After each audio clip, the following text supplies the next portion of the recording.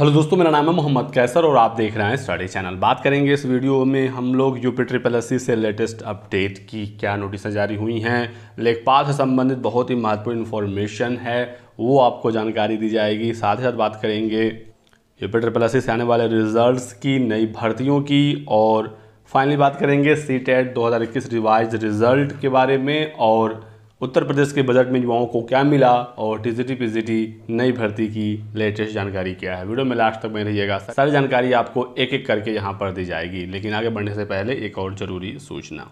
आज हम बात करेंगे राजस्व लेखपाल के इस बेस्ट बुक के बारे में, जो चक्षु प्रकाशन की तरफ़ से आता है। संपूर्ण पाठ्यक्रम इस पुस्तक में है, जिसमें आप हिंदी, गणित, सामान्य ज्ञान, ग्राम समाज विकास और करेंट अफेयर सब कुछ पढ़ सकते हैं। कंप्यूटर ज्ञान सहित इस पुस्तक को तैयार किया गया है। यूपी ट्रिपल के लेटेस्ट पैटर्न के आधार पर यह किताब है। इसमें दो सॉल्व पेपर और 2000 से ज़्यादा प्रश्नों के हल व्याख्या सहित दिया गया है। तो इस बुक में आपको पूरा सिलेबस देखने को मिल जाएगा, पूरा एग्ज़ाम पैटर्न आप देख पाएँगे और प्रीवियस ईयर के पेपर भी इसमें सॉल्व मिल जाएँगे। साथ ही साथ दोस्तों, आप यहाँ पर देख सकते हैं राज लेखपाल की संपूर्ण गाइड बुक के साथ चक्षु प्रकाशन की प्रैक्टिस सेट भी आ गई है, जिसमें पच्चीस प्रैक्टिस सेट हैं और ग्राम समाज एवं विकास के लिए भी इनकी अलग स्पेशल बुक आ गई है। यदि आपको ये किताबें खरीदनी है ऑफलाइन मार्केट से तो वहाँ से आप इसे इजिली ले सकते हैं और यदि आप इसे ऑनलाइन खरीदना चाहते हैं तो लिंक डिस्क्रिप्शन बॉक्स में दिया गया है। सबसे पहले बात करते हैं यूपी ट्रिपल एस यानी उत्तर प्रदेश अधीनस्थ सेवा चयन आयोग की। यूपी ट्रिपल एस में इस समय लगातार काम हो रहा है और कल ही यूपी ट्रिपल एस ने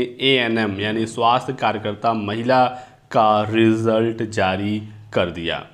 तो काफ़ी कम समय में ये रिज़ल्ट जारी हुआ है। 26 मई देर शाम को यूपी ट्रिपल ने इसका रिज़ल्ट जारी कर दिया था और अब इसके लिए डॉक्यूमेंट वेरिफिकेशन होना है। 9,212 पदों के लिए भर्ती आई थी। 17,713 अभ्यर्थी इस रिज़ल्ट में सफल हुए हैं और अब इनका डीवी कराया जाएगा।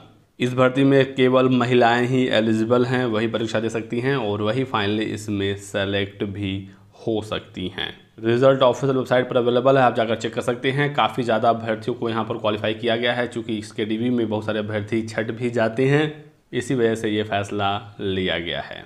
बात करते हैं दोस्तों लेखपाल की। अब यूपी ट्रिपल एस सी लेखपाल भर्ती की तैयारियों में लगने वाला है। बात करें दोस्तों, इसके एडमिट कार्ड की तो एडमिट कार्ड इसका जल्द जारी होने वाला है। तेरह जून के आसपास या इसके पहले ही लेखपाल का एडमिट कार्ड आ जाएगा। परीक्षा में अब कोई भी समस्या नहीं है। 19 जून 2022 को राजस्व लेखपाल की मुख्य परीक्षा होनी है। ये बिल्कुल तय हो चुका है। कल ही दोस्तों कट ऑफ़ वाला जो मामला था इलाहाबाद हाई कोर्ट में, वो याचिका खारिज हो गई। अभ्यर्थियों ने मांग की कि एक फिक्स्ड कट ऑफ़ होना चाहिए, लेकिन कोर्ट ने इस याचिका को खारिज कर दिया।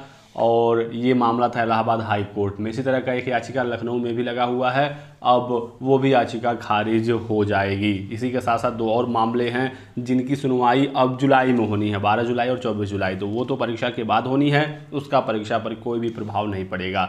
तो आप लोग बिल्कुल डटकर तैयारी करिए, उन्नीस जून को ही लेखपाल की मुख्य परीक्षा होगी।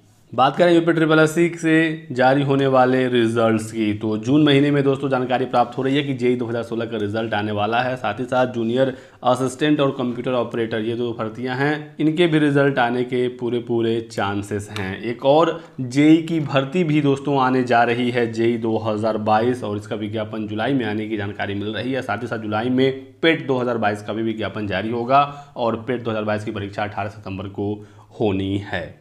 कुछ और पुरानी भर्तियाँ जो फंसी हुई हैं यूपी ट्रिपल एस की, इसको लेकर अभ्यर्थी लगातार धरना प्रदर्शन कर रहे हैं। इको गार्डन में भी धरना हो रहा है। यूपी ट्रिपल एस पर भी लगातार अभ्यर्थी जा रहे हैं और वो मांग कर रहे हैं कि उनकी भर्तियों को जल्द से जल्द क्लियर किया जाए, उनका रिज़ल्ट जारी किया जाए और चयनित अभ्यर्थियों को नियुक्ति दी जाए। जैसे ही कोई और नई अपडेट निकलेगी यूपी ट्रिपल एस से, आपको सूचना दिया जाएगा। बात करते हैं सी टेट की। सीबीएसई ने दोस्तों सी टेट दो हज़ार इक्कीस का रिज़ल्ट रिवाइज कर दिया है। आप यहाँ पर क्लिक करके अपना रिज़ल्ट देख सकते हैं। तो रिज़ल्ट इसका पहले ही आया था, लेकिन रिज़ल्ट में थोड़ा सा अपडेशन हुआ है। तो आप लोग दोस्तों, एक बार फिर से अपना रिज़ल्ट चेक कर लीजिए। अभी तक जितनी जानकारी हमें प्राप्त हुई है, इसमें अभ्यर्थियों के एक से दो नंबर बढ़े हैं और कुछ अभ्यर्थियों का रिज़ल्ट सेम है, उसमें कोई बदलाव नहीं हुआ है। तो जिन अभ्यर्थियों का रिज़ल्ट एक या दो नंबर से रुका हुआ था, उनके लिए एक बहुत बड़ी अपॉर्चुनिटी है। आप जल्दी से रिज़ल्ट चेक करिए, हो सकता है आपका रिज़ल्ट अब क्लियर हो गया हो। और रिवाइज रिज़ल्ट के आधार पर आपका डिजी लॉकर के जो सर्टिफिकेट हैं वो भी कुछ समय के बाद रिवाइज हो जाएँगे।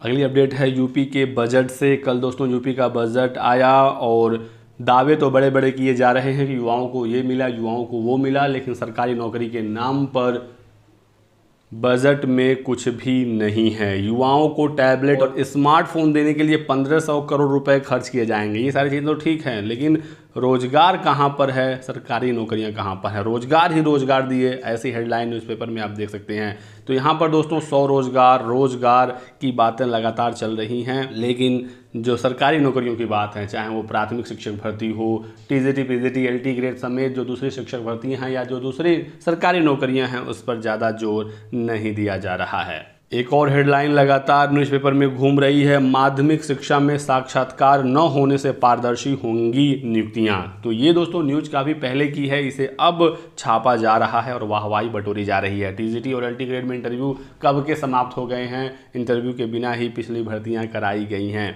इसमें यह भी लिखा गया है कि चालीस हज़ार चार सौ दो शिक्षकों का चयन माध्यमिक शिक्षा विभाग में हुआ। तो ये भर्ती तो पहले ही कंप्लीट हो चुकी है। जो पुरानी भर्तियाँ हैं टी जी टी सोलह, इक्कीस, इसके पहले वाली एल टी ग्रेड जो भर्ती आई थी दस हज़ार सात सौ अड़सठ पदों पर, और राजकीय इंटर कॉलेजों में प्रवक्ताओं की भर्ती, इन सबको जोड़कर ये आंकड़ा है चालीस हज़ार चार सौ दो। ये भर्तियाँ कब की हो चुकी हैं?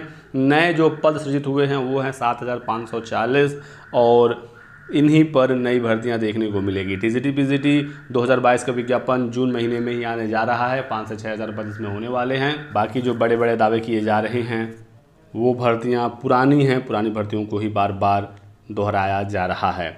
उच्च शिक्षा विभाग में भी यहाँ पर दावे किए गए हैं कि उच्च शिक्षा विभाग में गुणवत्ता के लिए अच्छे फैसले लिए जाएँगे। कॉलेजों में स्मार्ट क्लासेस की व्यवस्था होगी। चार राजकीय औद्योगिक प्रशिक्षण संस्थान को मॉडल आईटीआई के रूप में विकसित किया जाएगा, सारी चीज़ें हैं, लेकिन नई भर्ती को लेकर कुछ भी नहीं है।